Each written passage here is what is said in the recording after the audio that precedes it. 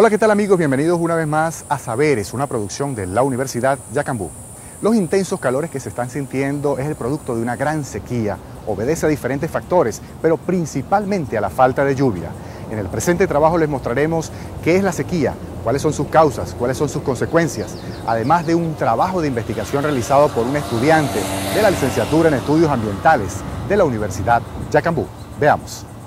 La sequía en el territorio nacional venezolano nos afecta a todos. La carencia de precipitaciones en el país y las altas temperaturas han ocasionado la escasez de agua tanto para el consumo humano como de animales y plantas. Para nadie es un secreto que las principales represas que abastecen del vital líquido a Venezuela tienen severos problemas en cuanto a su nivel de agua. La represa Uribante Caparo en el estado Táchira, en donde se encontraban sumergidas en agua las ruinas del pueblo Potosí, ahora se pueden visualizar perfectamente. Por otro lado, los niveles de agua de la represa del Guri en el estado Bolívar son preocupantes.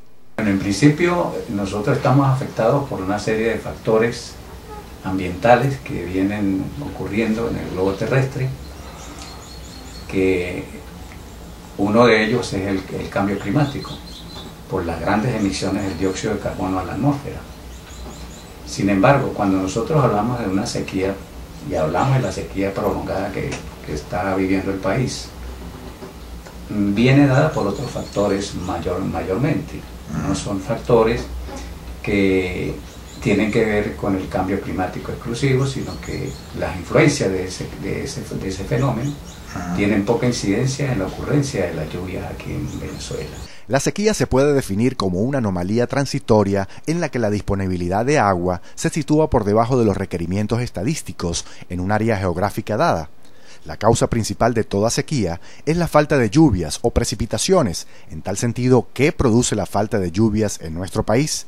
O sea, yo lo considero más que todo por los últimos cambios que se han visto ambientalmente a través de las épocas, eh, principalmente por la gran contaminación que ha habido últimamente, eh, también porque como sabemos en Venezuela eh, estamos en una época de sequía, claro, no tan grande como en otros años, pero por de por sí es la sequía como tal por el evidente fenómeno del niño y por el calentamiento global que nos está afectando lamentablemente y por eso es que realmente ahorita contamos con tanta sequía en el país y en el mundo entero. Eh, bueno, eminentemente por el calentamiento, el calentamiento global. Esto ya hace, viene de hace tiempo. También yo creo que es por las industrias, los grandes países industrializados, que son los que expenden los gases y esto lo convierte en calentamiento global. Y también este, ahorita en el, hubo una reunión en Copenhague, Dinamarca, del, grupo de los ocho, que impartieron políticas, pero siempre hacen esa reunión y las políticas nunca las cumplen. Yo creo que debería haber, implantar esa política y alguien que la supervise, nombrar algún, algún comité, alguien que la supervise para que se cumpla. Sí, por el fenómeno del niño. Eh, si mal no tengo entendido, actualmente el fenómeno está ubicado por las áreas de Hawái, por lo tanto lo que es Venezuela está recibiendo lo que es el coletazo, que en vez de traer lluvias e inundaciones, lo que hace es retractar todo el agua, por lo tanto hay sequía por eso. Pues todo el mundo habla acerca del cambio climático y yo creo que es con respecto a esto lo del cambio climático, ya que se está secando más la tierra porque el sol obviamente se está acercando más. Lo que decía en cuanto al profesor es totalmente cierto y yo apoyo su teoría y su pensamiento que habla ya que se está secando y hay sequía porque este tiempo del año es el tiempo de sequía. La sequía y la carencia de precipitaciones en nuestro país es alarmante. Diferentes versiones manejadas a través de los medios de comunicación social a nivel nacional atribuyen al fenómeno del niño como el causante de esta falta de lluvias en el territorio venezolano. No obstante, según el profesor Pablo Valdés, quien da las materias de climatología e hidrología en la Universidad Yacambú, la situación obedece a otros factores.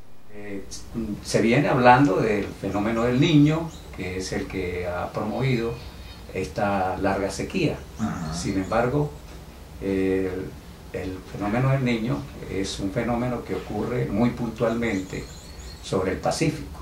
Ajá.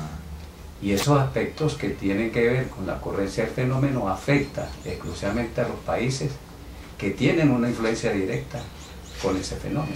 Ajá. Por ejemplo, caso particular Colombia, Panamá, y que para que a nosotros nos afectara tendría que superar tres sistemas de serranía que tiene Colombia, como es la cordillera occidental, la cordillera central y la cordillera oriental. El niño como tal es un fenómeno oceánico y atmosférico, o sea, lo que ocurre en la cinética del movimiento en, el, en el, Pacífico este, se refleja en lo que es la atmósfera. Entonces, así nosotros vamos a tener que hay áreas del mundo, ¿verdad?, que van a tener mucha este, lluvia y otras áreas que van a tener poca lluvia, poca precipitación. Según los expertos en ambiente, la sequía obedece a la gran destrucción de las cuencas hidrográficas. Entendiendo la cuenca desde el punto de vista hidrológico como la unidad básica de producción y recepción de agua, la intervención de la mano del hombre en esa área, mediante la tala, la quema, entre otras actividades, ha modificado su funcionamiento regular, generando menos cantidad de agua y en consecuencia sequía. Las cuencas hidrográficas en principio debemos entender cuál es su origen, de dónde proviene la palabra. La palabra cuenca hidrográfica proviene, ¿verdad?, de algo que es cóncavo, de la palabra concha, de concha de bivalvo, chipichipi, una cosa de estas, marinas, ¿no? Es decir, algo que es cóncavo y por lo tanto tiene la capacidad de, las precipitaciones que, puedan caer allí puedan ser retenidas por todos los estratos naturales que existen allí.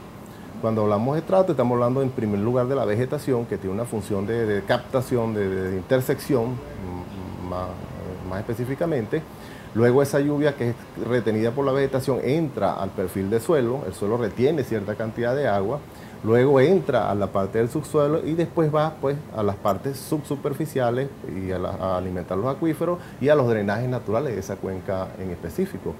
Quiere decir que nosotros cuando alteramos de alguna manera ese, ese, esa secuencia de, de, de elementos naturales, estamos alterando drásticamente una parte del ciclo, hidrológico, ciclo hidrológico perdón, local de la zona. ¿verdad? Amigos, no se retiren porque en la próxima parte verán el trabajo de grado de un graduando de la licenciatura en estudios ambientales de la Universidad Yacambú sobre la influencia de la deforestación en los bosques húmedos en el régimen pluviométrico venezolano.